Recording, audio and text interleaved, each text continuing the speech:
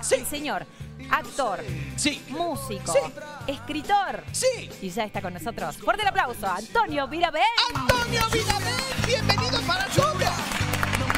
Buenas tardes, ¿cómo, estamos? ¿Cómo les va? ¿Bien vos? Muy bien, muy bien. Eh, es verdad, estoy encaminado en un proyecto nuevo que es un libro que se llama Tres, que habla de, entre otras cosas, de, de mi padre, de mi hijo y de mí, de esa línea de tres, tres personas. Tres por eso generaciones. título. Sí, tres generaciones, padre, hijo.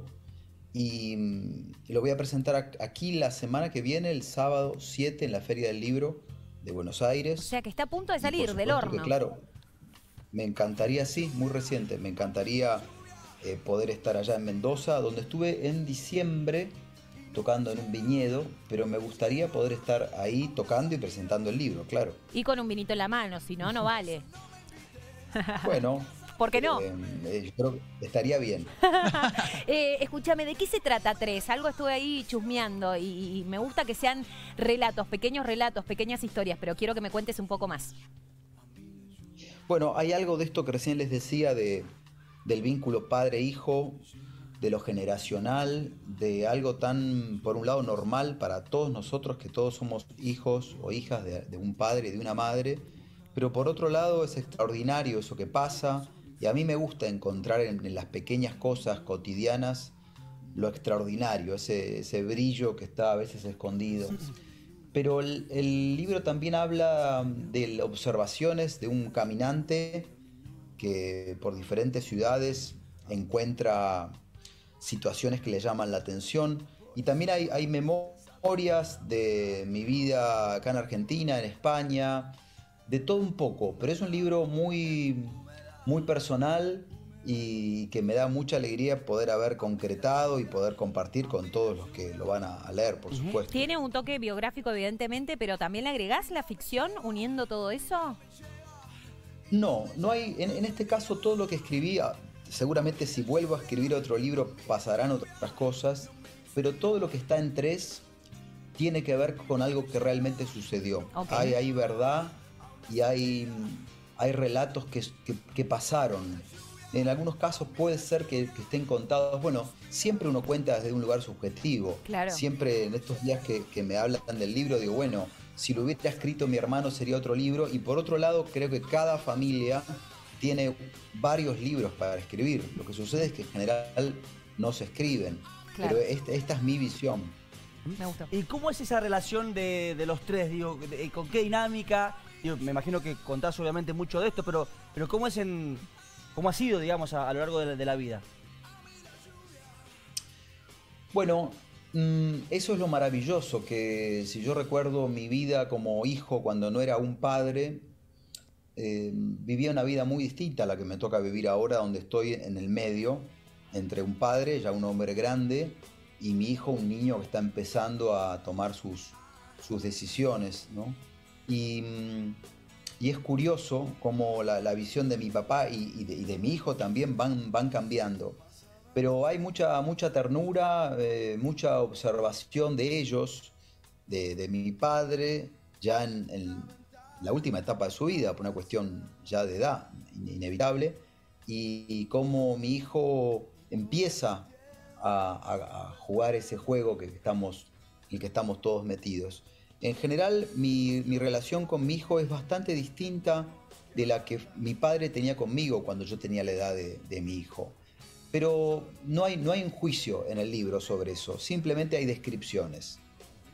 Y además que, que cada uno hace en definitiva lo que puede. Y evidentemente eh, tu papá ha sido una cosa con vos que seguramente será completamente distinto como abuelo. ¿Te, te pasa eso también? De, de verlo desde otro rol y decís, ah, mirá, de repente, no sé, está tirado jugando con, con mi hijo y no sé, yo nunca lo puedo vivir. No, podría ser muy lindo y muy eh, romántico y suave si le dijera que juega con mi hijo, pero no juega. Eh, pero, sin embargo, él tiene su manera de llevarse con, con mi hijo y es una manera muy auténtica de él. Eh, mi padre ha sido un tipo muy personal toda la vida y, y yo he aprendido a, a convivir con, él, con esa personalidad. Siempre fue un tipo extraño Y, y de alguna manera tal vez mi hijo dentro de 20 o 30 años, Diga lo mismo. ojalá, de vos. Sí, o lo mismo o haga una observación sobre... Mira, he recibido en estos días, se imaginarán, un montón de comentarios, algunos de personas que no conozco, pero algunas de personas, algunos de personas muy íntimas que me han eh, redescubierto en el, en el libro. Y un íntimo amigo que lo conoce mucho a mi papá, además, ayer me dijo, Antonio, tengo que decirte que te envidio, porque el libro demuestra que has tenido un acercamiento y una, una voluntad de observar a tu papá, dice que yo no, no he tenido con mi padre. Y cómo esa observación te ha unido a él. Bueno, tal vez dentro de un tiempo mi hijo lea el libro, porque aún no lo leyó, porque no es un libro para, para niños, y él también haga su propia observación de su papá, o sea, de mí. Claro, sí, sí, sí, sin dudas. Y además, cómo va cambiando uno con el tiempo, ¿no? Con, con la madurez que, que te permite, incluso cuando sos padre, cómo cambia tu perspectiva hacia tus, tus viejos, ¿no? Dejás de juzgarlo, como decías vos, y en definitiva entendés que, que hicieron lo que pudieron. Eh, Antonio, entonces vas a estar presentando este libro en la Feria del Libro. Esperamos tenerte por acá también, haciéndolo.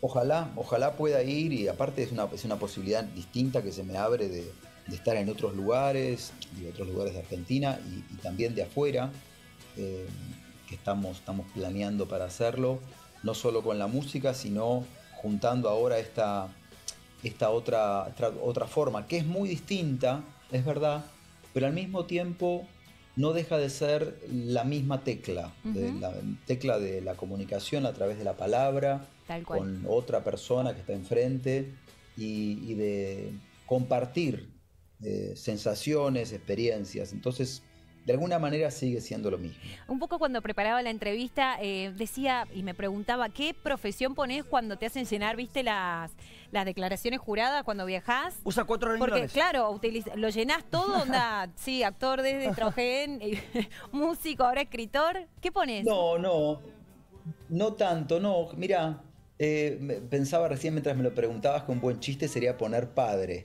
Tal pero, eh, sí, o hijo. Pero Re. padre e hijo. Pero no, sue- suelo poner compositor. Ah, porque mira. compositor creo que es la palabra que más define mi, mi esencia. Digo, hago otras cosas, pero me gusta mucho escribir y poder inventar algo con, con una melodía, con una palabra, con una frase, y, y que ese algo antes no estaba y, y donde no había nada, hay, hay algo, una pequeña cosa que a veces termina en una canción y a veces, bueno, queda ahí.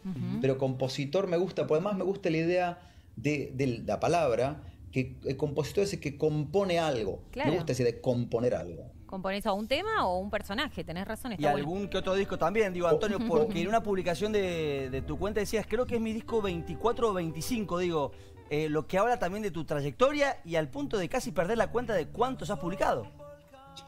Sí, sí. No sé, le voy a confesar eh, si es una virtud, porque son- son muchos, pero sí he editado un montón de discos. Hace poco se editó un, un disco en vinilo con una banda que tengo que se llama Las Lenguas Muertas. Estoy preparando otro que ya casi está listo de, de canciones mías que canto, pero acompañado por un quinteto de cuerdas. Es un proyecto muy lindo, ojalá lo pueda llevar a Mendoza. Y hace muy poco saqué un disco con mi papá y sigo generando cosas. Pero, 25 te digo, Sí, ¿eh? no... ¿Eh? Lo contó, lo Son contó. 25, te digo. Bueno, ahí está. Me, me gusta que me lleves la cuenta. Cualquier cosita por WhatsApp. Y yo te quería preguntar si se asemeja el proceso de creación a la hora de pensar un personaje como a la hora de pensar una canción y a la hora de ahora este, este libro. ¿El proceso creativo es más o menos lo mismo y has notado que se ha modificado a lo largo de los años?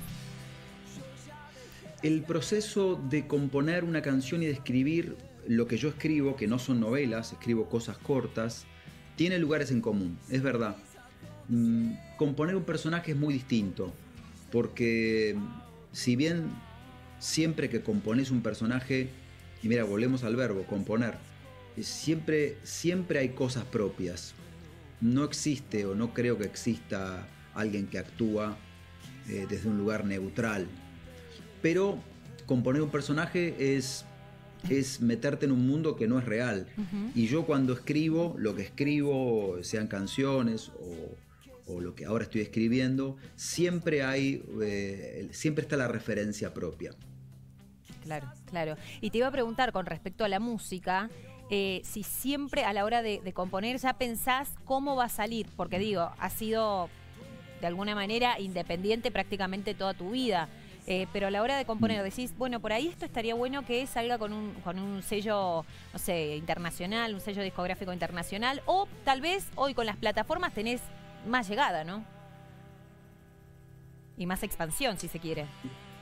Te, podría decir que tengo muchos sellos internacionales buscándome, pero eh, prefiero ser sincero. Eh, estoy acostumbrado hace mucho a editar los temas por mi cuenta y entiendo que, ese es mi lugar. Cuando iba a editar el libro, eh, también di, di, vueltas, pensé en editarlo con una editorial grande. Después me di cuenta que, que lo mejor era, era editarlo por una editorial pequeña, de hecho se llama Malicias de La Plata. Igual yo siempre pienso que lo que hago no, no es de una forma o de otra de acuerdo a cómo sale. No es que si saco un tema y lo pienso para una editorial pequeña o grande va a ser distinto. Yo hago lo mismo. Eh, me acuerdo cuando en el año 96 empecé a sacar discos por mi cuenta, 97, que alguien una vez me dijo, bueno, y ahora que sos un artista independiente, ¿cómo vas? Digo, no, pará, antes no era un artista dependiente. Claro. Siempre hice la música que yo pensé que tenía que hacer. Las circunstancias de alrededor cambian un poco, pero sigo haciendo lo mismo y trato de hacer lo mismo y, de ser lo más fiel, si existe esa palabra, a, lo que estoy buscando hacer. Antonio, acá en el programa bueno, hemos hablado con muchos actores que en esto de preguntarle si disfruta más la tele, el cine o el teatro, eligen el teatro por ese calor que tiene, la cercanía con el público. En tu caso tenés la música, tenés la escritura y tenés también la parte de, actuación. Si te pregunto, recién decías componer, pero ¿qué por ahí te disfrutás más? ¿Qué saboreas más a la hora de, de afrontar o de elegir, si tenés que elegir por alguna o optar por alguna? Mira, uno de los relatos que está en tres habla de eso, habla de, mm, la diferencia entre actuar frente a la cámara, entre actuar en un escenario y entre la música cuando es en vivo o cuando estás en un estudio de grabación. Yo soy muy curioso y creo que esa curiosidad es la que me ha llevado a, esto que hablábamos antes, a no hacer una sola cosa. Y, justamente esa curiosidad hace que que no tenga una elección clara. Mira, estuve ahora un tiempo largo sin actuar, porque bueno, se, dio así. Y ahora volví a hacer unas, participaciones en unas series, en una película, y dije, ah, mira, qué bien que volví, me sentí tan contento. Entonces me, gusta todo eso que, que vos nombrás y lo disfrutás, evidentemente. Eh, Antonio, si te parece, vamos a jugar un poco, se llama Una canción para. Es jugar un poco con tu recorrido profesional, tanto en la actuación como en la música, que es lo que venimos hablando. Por lo que te vamos a pedir que le pongas la banda sonora perfecta a los siguientes momentos, personas, trabajos o sentimientos que te vamos a plantear. ¿Ok? Un pedacito de canción, obviamente, puede ser tuya o de otra persona, lo que vos quieras que aplique a la siguiente situación. A, ver si puedo, a ver si puedo. Dale. Voy a hacer mi mejor intento. Dale. Arrancamos. Una canción para el momento en que te convertiste papá de Oliverio. Eh, bueno, hay una canción que le escribe que dice, oh, me perdí. Es una canción que se llama Oh, porque siempre, siempre me dio un poco de pudor las personas que escriben para sus hijos y los nombran. Y yo la llamé O, él se llama Oliverio, y la llamé O. esa es la melodía que me viene. Qué bonita. ¿Una canción para Tango Feroz? Eh, pero el amor es más fuerte, pero el amor es más fuerte. Me queda esa canción en la mente. sin duda, sin lugar a dudas. Una canción para tu paso por ese exitazo que fue Verdad Consecuencia no sé si tengo una canción tan concreta eh, porque me acuerdo de esa época y bueno, bueno, les voy a cantar un pedacito de una canción, de un, de un video de esa canción donde Andrea Pietra y Carlos Santamaría, que eran dos compañeros, actúan. Dice, hay pibes que mueren de amores, hay miles de televisores, yo quiero parar los relojes, pero nunca lo puedo lograr. Y una canción para el vínculo que tenés con tu papá Morris y con la música. Bueno, eh, mm, porque el sol brillará eternamente y tu libertad no tiene límites. Hermoso, Esa hermoso. Es una canción que escribimos juntos del último disco que se llama Porque el sol. Qué bonito, qué bonito. Y si te tuvieras que regalar una canción a vos, o cuando estás bajo, viste, decís, esta canción me levanta, sin lugar a dudas. Eh, no sé si la sé cantar bien, pero es una de Frank Sinatra que dice That's life. Ay. Pararara. Ay, sí, qué bonita, me encanta. Eh, Antonio, Me encanta te queremos. Ah, Acá está, a ver. Ah, estás poniendo la canción que hizo con el. y padre. tu libertad no tiene Este es- límites. Aquí está la belleza de los hombres. Qué bonito. Nosotros somos el corazón de la vida. Esta es la canción Qué hermoso. del poeta. Qué lindo tener ese privilegio, ¿no? De Claro. cantar con tu viejo, espectacular. Eh, te vamos a poner en compromiso de cuando vengas a Mendoza, te venís, te cantás. Nosotros te podemos conseguir vino.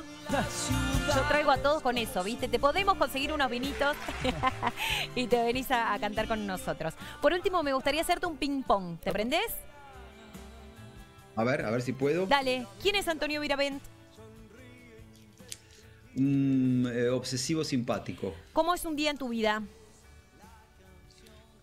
Eh, cambiante. ¿Qué te genera felicidad? Eh, las conversaciones por teléfono con mi hermano. Ay. ¿Qué te enoja? La gente que llega abajo de tu casa y no toca el timbre y espera que bajes o te manda un mensaje por WhatsApp. Gracias, Eso se Antonio. aplaude, chicos. Lo odiamos todos. Gracias, Antonio. Por Dios, toca el timbre, bajate. Te lo pido, por favor. ¿Qué te enamora? ¿Qué te encanta? Me enamora el coraje ¿Te quedan pendientes? de unas cuantas. ¿Lugar para vivir? Bueno, mm, cerca de la montaña, eh, que a veces voy.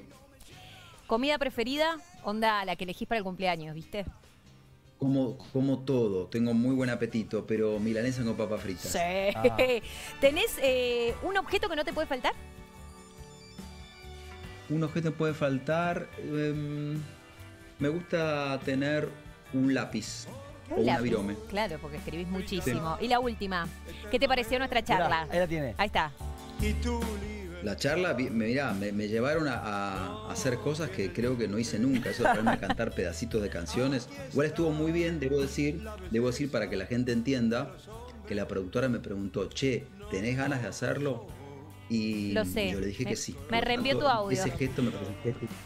Así es, eh, le mandamos un beso enorme a Juli que está ahora haciendo la mesa, Julieta Dora, nuestra, nuestra productora. Eh, Antonio, te queremos agradecer, de verdad, queríamos que te sintieras cómodo, queríamos charlar un rato con vos, para nosotros es un placer tenerte en este programa que dentro de poquito cumple un año, ¿eh? y no queríamos dejar de, de tener esta oportunidad. Bueno, un abrazo, gracias y ojalá realmente esté pronto por allá en Mendoza, ya sea tocando, presentando el libro o, o haciendo lo que sea. Pero, pero será una alegría volver porque cuando estuve disfruté un montón y me encanta, me encanta la ciudad y la provincia. Genial, muchas gracias, señoras, señores, Antonio Viravent, para todos. ¡Bravo, genio!